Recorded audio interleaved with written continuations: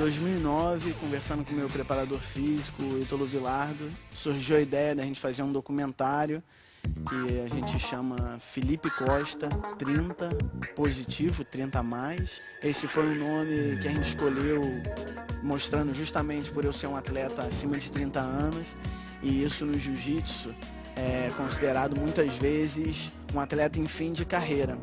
E eu quis mostrar que, que mesmo tendo esse aspecto de já estar tá mais próximo do fim é, dos anos competitivos, eu quis mostrar que uma pessoa comum, sem aptidões físicas fenomenais, através do treino, do esforço, poderia atingir bons resultados.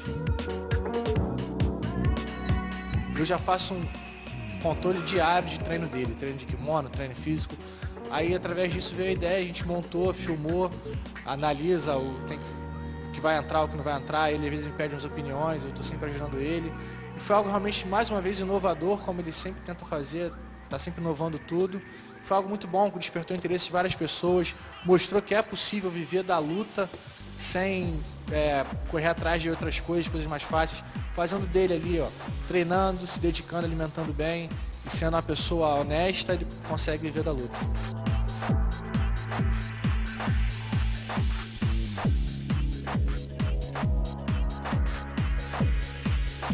A gente acabou disponibilizando esses vídeos no YouTube.